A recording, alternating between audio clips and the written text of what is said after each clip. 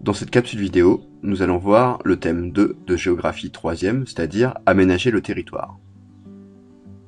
Et tout d'abord, nous allons nous poser la question pourquoi aménager le territoire français, ou plutôt les territoires français? En géographie, un aménagement est une action qui consiste à transformer l'espace pour répondre aux besoins des habitants. Ces aménagements sont souvent le fait de décisions politiques, on parle alors de politique d'aménagement du territoire.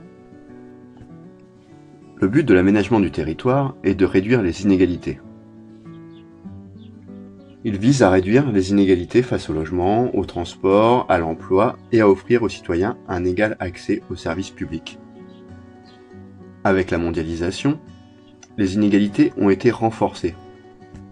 Les activités économiques se concentrent davantage dans les grandes aires urbaines, ces espaces recevant la majorité des investissements privés. Et de fait, de nombreux espaces sont moins intégrés au reste du territoire. Les inégalités peuvent se voir à différentes échelles, à l'échelle nationale, mais également à l'échelle régionale, départementale ou locale. Par exemple, à l'échelle nationale, nous pouvons observer des inégalités entre habitants des villes et habitants des zones rurales qui n'ont pas le même accès aux infrastructures et aux services publics. On peut également constater des inégalités à l'échelle locale, à l'intérieur d'une même ville, il y a de fortes inégalités entre les quartiers qui la composent. Cet aménagement du territoire peut avoir des effets pervers en passant du rééquilibrage à une compétition entre les territoires. En effet, afin de permettre l'installation des firmes transnationales et de faire face à la concurrence internationale, l'aménagement favorise la concentration des activités dans un nombre réduit de lieux, c'est-à-dire les métropoles majoritairement.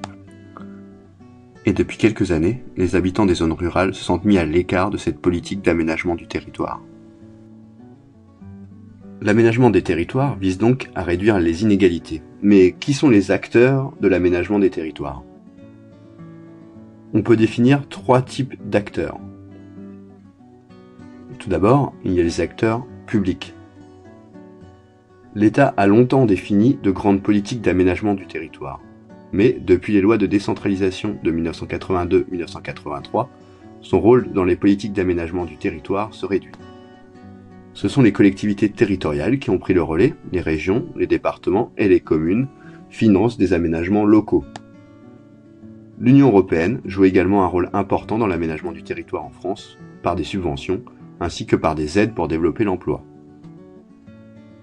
Il y a également des acteurs privés des entreprises financent un projet pour prospérer et développer l'économie d'un territoire, par exemple. Et pour terminer, le dernier type d'acteurs concerne les habitants qui sont invités à s'exprimer sur la conception des aménagements ou des projets développés par les collectivités. Ils peuvent participer à des réunions d'information, des débats publics ou à des participations citoyennes pour donner leur avis. Ces différents acteurs peuvent parfois s'affronter autour de projets d'aménagement ne satisfont pas les intérêts de tous. Pour résumer, nous avons vu tout d'abord que l'aménagement du territoire vise à réduire les inégalités. Nous pouvons parler d'aménagement des territoires car celui-ci se fait à différentes échelles, nationales, régionales, départementales ou locales. Nous avons vu également les différents acteurs qui participent à l'aménagement du territoire, qu'ils soient publics, privé ou citoyen. Pour terminer, nous allons nous demander quels sont les enjeux pour l'aménagement du territoire de demain. Le premier enjeu est de donner un plus grand rôle à celui de l'habitant dans l'aménagement de son territoire. Le deuxième enjeu consiste à mettre en relation aménagement du territoire et les principes du développement durable.